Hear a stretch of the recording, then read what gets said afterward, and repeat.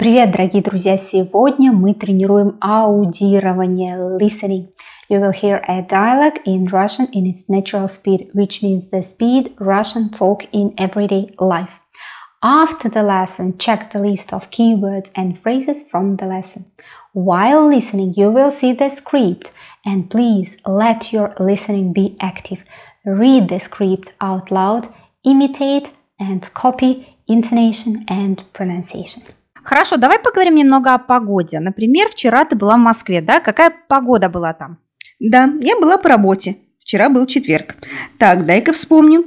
Было довольно облачно, много туч на небе, и местами был дождь, даже гроза. Но, надеюсь, ты не попала под дождь? Нет, не попала, к счастью. Я была почти все время где-то в здании и передвигалась по городу на машине. Ясно. Значит, дождь был местами, и он был сильный, правильно? Да, был ливень, он шел где-то полчаса. Но это типично для мая, для мая месяца. Ты знаешь по-разному. Вообще да. Грозы, ливни бывают обычно в мае-июне. Если дождь идет осенью, то это такой долгий моросящий дождь. Да-да-да, такой неприятный дождь. Хорошо. А температура? Было холодно?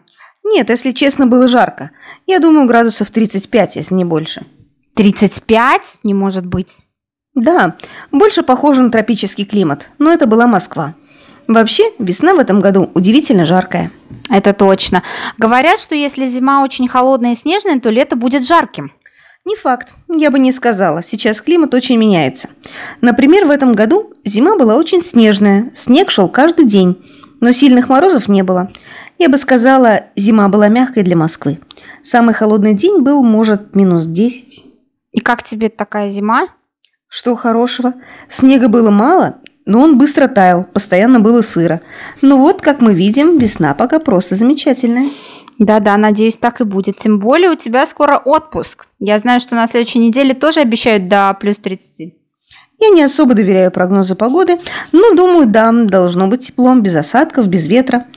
Никто не знает. Сложно сказать, какая будет погода через неделю. На самом деле, весной погода очень изменчивая. Ясно. Но в любом случае, если ты поедешь в отпуск на ют, то там почти всегда стоит жара летом. Я думаю, вы хорошо отдохнете. Да, мы поедем в отпуск в середине июня. Вода в море будет уже теплая. О, здорово. Хорошо отдохнуть вам. И спасибо большое, что помогла мне сегодня. Пожалуйста, всегда рада помочь. Спасибо еще раз. Надеюсь, скоро увидимся. Конечно, пока.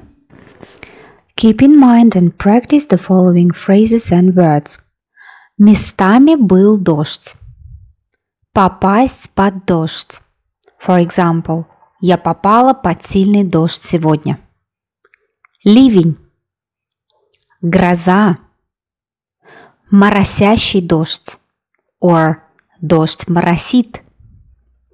Не может быть. For example, не может быть, что было так жарко. Говорят, что For example, говорят, что в Санкт-Петербурге завтра пойдет снег. Как тебе нравится? For example, как тебе нравится моя новая песня? Снег тает. In the past tense, снег таял. Снег растаял. Прогноз погоды.